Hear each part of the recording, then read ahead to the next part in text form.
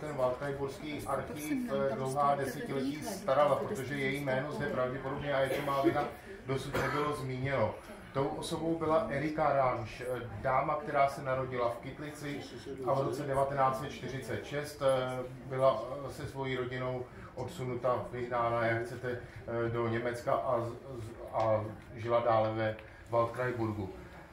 Zajímavé je, že paní Ranš se snažila bezprostředně po revoluci obnovit vztahy mezi českou a německou veřejností. Snažila se k tomu přispět celou řadou aktivit a také se stalo, že několikrát v 90. letech naštívila eh, svoji rodnou vesnici Kytlici. Často jí mrzelo, když viděla, v jakém stavu je její rodný dům. Při jedné z návštěv ovšem viděla, že se ten dům začíná rekonstruovat, že se o něj někdo začíná starat. Tím člověkem byl pan Petr Kubác Kytlice, který je dnes také s námi a který nám možná řekne o svém speciálním stavu, který se mezi někdejší a současným majitelem téhož domu vyvinul. Prosím, pane Kubác.